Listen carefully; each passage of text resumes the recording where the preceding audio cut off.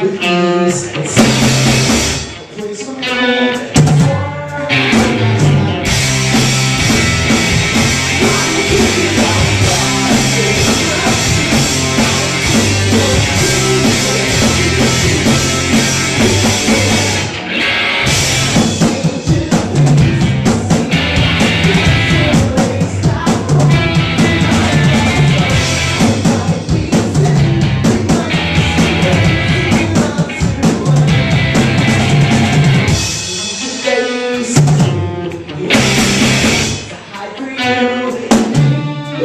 Never want. I'm built with ease and speed.